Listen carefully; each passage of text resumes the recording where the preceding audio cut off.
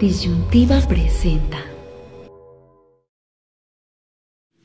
Y vamos a salir fortalecidos porque no nos van a hacer cambiar en nuestro propósito de acabar con la corrupción y de que haya justicia en el país. Por eso vamos a salir fortalecidos. O sea que nos vino esto como anillo al dedo para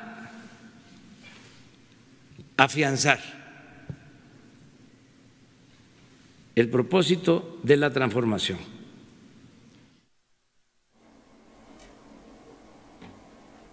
No, no, no, no, no, no, no, no, no, de no creerse de verdad esta declaración de López Obrador con respecto a la pandemia por coronavirus que el mundo ha calificado como uno de los mayores retos para la humanidad en su conjunto en los últimos tiempos o lo más terrible que haya pasado a Europa desde la Segunda Guerra Mundial.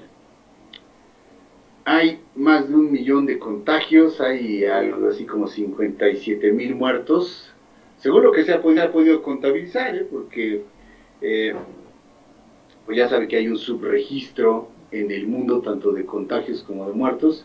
Millones de personas además han perdido y van a perder sus empleos, pero para la 4T esto cayó como anillo al dedo. No puede ser. Una frase, una frase que tiene muchas lecturas desde luego, pero difícilmente, difícilmente se le puede dar alguna positiva, aún para los defensores más aguerridos de este personaje.